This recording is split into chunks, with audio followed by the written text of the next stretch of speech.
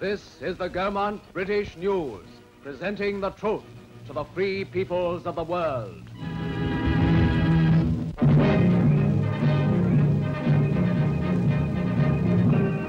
The Austrian town of Graz awaits the arrival of the first British occupation troops under the new agreement between Britain and Russia.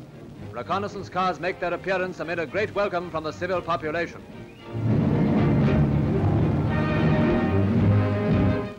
Although rather shy at first, the people of Graz were soon won over by the never-failing good humor of the British soldier. A little lady of Graz presents a bouquet to the British commander, General Weir.